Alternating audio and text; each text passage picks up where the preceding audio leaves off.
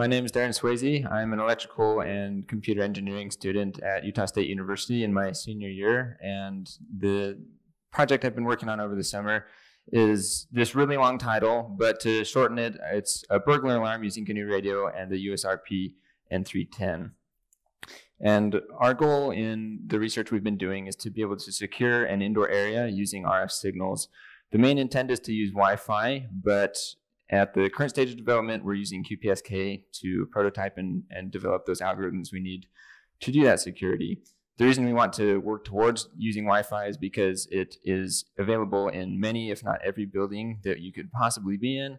And um, it has such a broad coverage and acts as a really good signal of opportunity to grab data from and detect if somebody could potentially be yeah, intruding in an environment. And there's two phases to this. The first is intrusion detection, which is what I've been working on. And the second is target tracking, which is a follow up to once a target may be localized, then we need to find out where they continue to be in that area. So first we have to figure out how are we going to detect intruders in the first place. And it turns out it's pretty simple and it's really convenient. So just imagine you have some signal S of T that's going into a channel that introduces a whole lot of noise and a whole lot of different information that we don't actually care about. It could be motion from people moving around. It could be doors, walls, and windows that introduce attenuation or phase shifts to the signal. And it comes out as a signal X of T.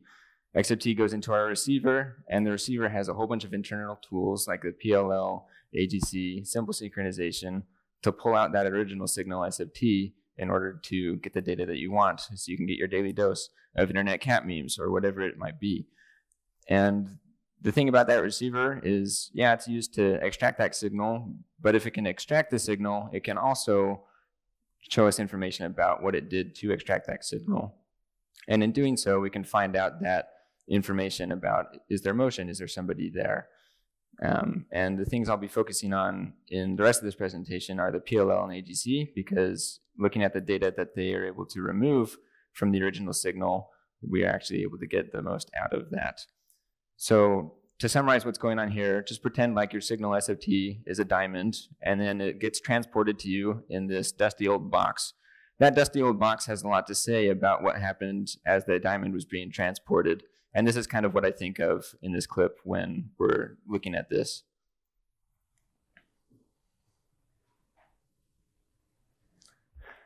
The box says everything, and that's what we're focusing on here.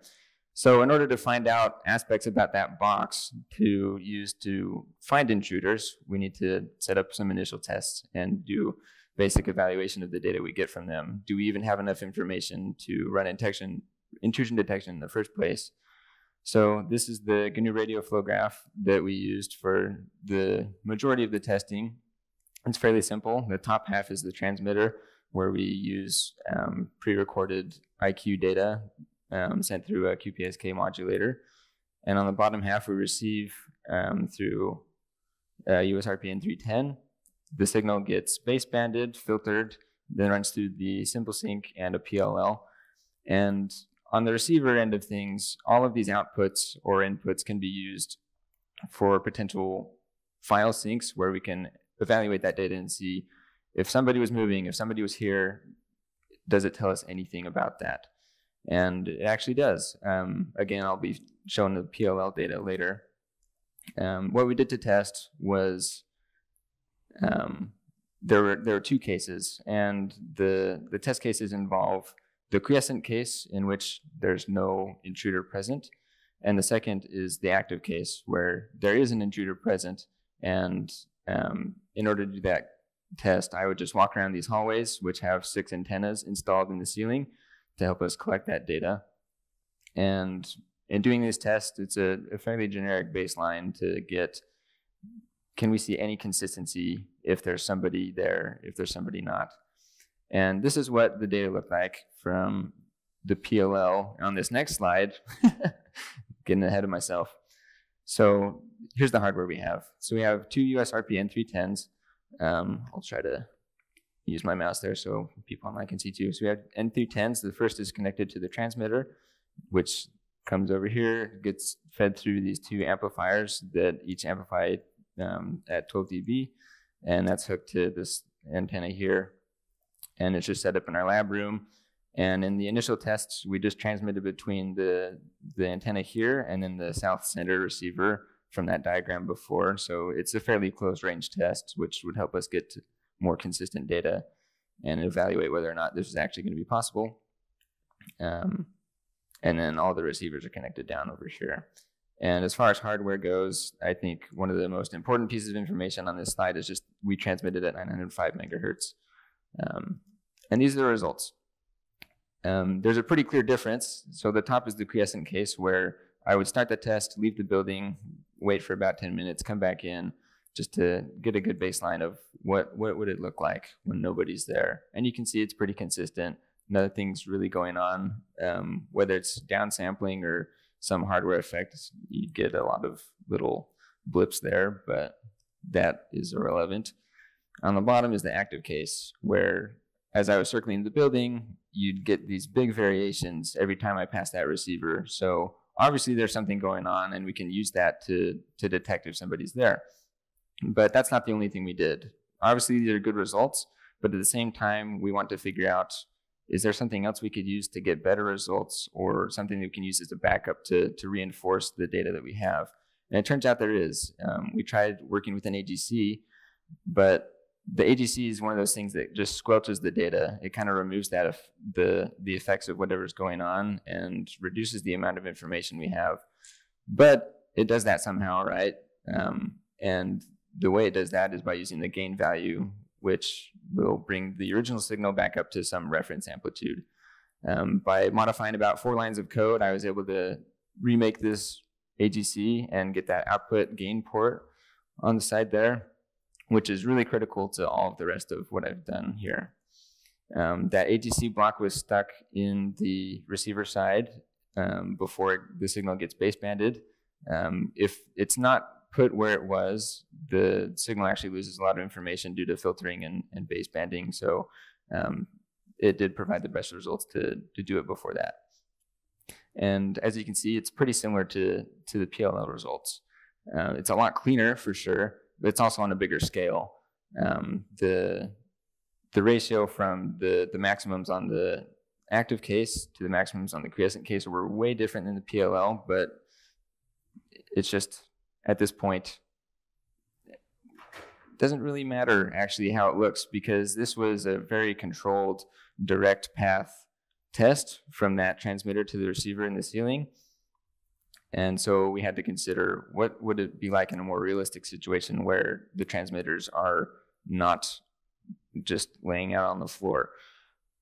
Um, so I transitioned the receiver to the southwest corner of the building in the ceiling. And for these results, the ah, sorry, the transmitter was in the southwest, the receiver was in the northeast. And the reason I did that was because the farther apart the receivers are, the better data you get because there's less of a direct path and there's more opportunity for an intruder to interfere with that signal in the channel. So on the left is the, the PLL results. It looks pretty much the same as what it did um, in the original tests. And that's what it looked like for the active test in that case. Very different. There's not a whole lot going on. There are some periodic variations, but it's a lot harder to tell what they really are. And then there's some random blip. I don't know what that is. Um, and then on the AGC side, we get a huge, huge result. And at this point, we're like, yeah, okay, the AGC needs to stay here. Um, it provided very good results. And in doing that, the next step is to quantify those results and be able to run this in real time. So we need to consider what can we actually pull off of this signal to use as metrics to run in the real-time processing. This is some data I gathered while walking around the building and stopping in a few locations, moving, stopping again for about a minute at a time, just to see can it pick up only motion or can it pick up a presence in general? And this is what I got. So the three conditions you can see here, the first one in the green box is what would I would consider the quiescent case. There's there's no movement, nobody seems to be there. And then there's the case in the purple box where there's noticeably more variation in the signal, which indicates to me that there's some movement. And then the third condition is in the red box where there's a lot of variation and the gain went to a different level entirely, which indicates there's also some positional data that we can extract from this. And these all led to three detection metrics that can be calculated and evaluated over a sliding window on the signal. Those metrics are the average level and the standard deviation of the amplitude and the energy. And the convenient thing about this is that they all feed into each other when you calculate them, making the, the calculation steps really simple. Using the standard deviation equation, we can first compute the average level and find mu. And then by finishing off that calculation, we have the amplitude standard deviation. And then that first term in that equation can be used for the energy standard deviation, where that feeds into mu, and then you square that again and finish the calculation. So these three metrics provide a lot of information and they're very closely connected. So it's it's really quite simple to to get more data and evaluate what's going on. So knowing that, I developed some code in MATLAB to highlight the expected results using these metrics and also developed the process for what would happen in real time. So the, the program would click the quiescent data. So say you had 30 or 60 seconds over which a sliding window would run, it would evaluate each of those three metrics and run the calculations. And at the end of that period, it would set thresholds. And after that, continuously running, it would evaluate at each sliding window portion, have any of those thresholds been exceeded? And the, the top piece of data here is just for the amplitude standard deviation, where the pink is it is what it highlighted using a, a one second window with no overlap. And it caught a good amount of what I would expect it to. Um, and it, those are pretty good results. Then you add on the level detection on the bottom, and it highlights basically everything. So I was really happy with these. Um, we were able to stick it into GNU Radio after after we figured that out. And to do so, I made this block called GRID, which stands for Real-Time Intrusion Detection, which wrapped up all that MATLAB code um, into GNU Radio and was able to perform these things in real time. And and in this case, you can set the arming time. So here it's 30 seconds, and you get the window length. You can set overlap if you want a little bit more precise of, of data, but not have to calculate too often. And this was designed to be used with the AGC because that provided the best data. Um, and in order to run this and actually find whether or not there's an intruder in the environment, all you need is these four blocks and then the transmitter because we had to transmit as well. Um, but just using those four blocks, you can you can learn whether or not somebody's in your environment that you're testing in. Um, these were wrapped up into a hierarchical block that supported up to four copies of the the receiver module, and we began to run tests. So this is a very simple test. I had the transmitter in the southwest corner of the building again, and the, the receiver was the south center in this first case. And then the second clip shows a little bit less motion and how sensitive things can really be um, with the transmitter in the southwest and the receiver in the southeast of the building. So we'll just watch that.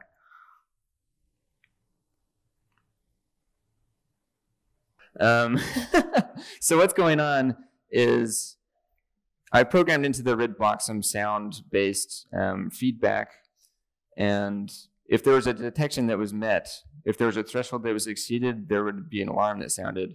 And depending on what conditions there were, it could sound one particular sound, it could sound a different one. It depends on if there were one or multiple metrics that had been exceeded. Um, unfortunately, we didn't have that going, but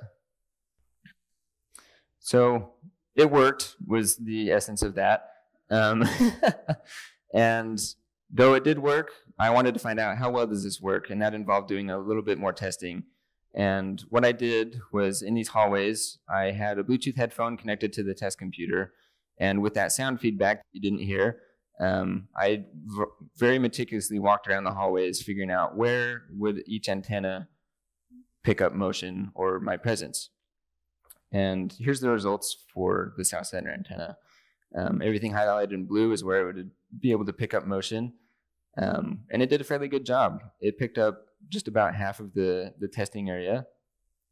And I proceeded to do this with the other three receivers as well and generated this heat map. So the darker areas, um, all four of the receivers were able to detect motion there. And then in the lightest area, only two were able to detect it. But these are pretty amazing results. There's they're very sensitive, and I'm I'm glad we were able to get the results we did. There's a lot to do with this still.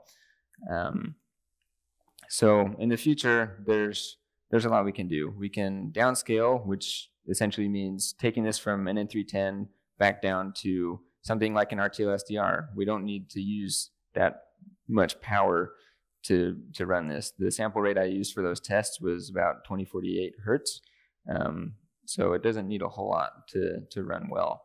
Um, and the the next goal as well, like I said at the beginning, would be to implement this with Wi-Fi and not have to transmit anything because being able to passively do that would be a lot more beneficial and be a potential application for in-home use as well.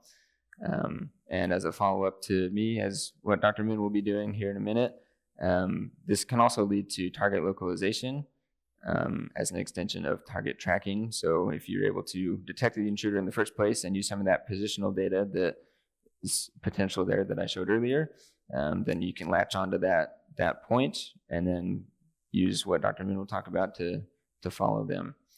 Um, I'm glad I could be here, and I hope you have been able to have a good time.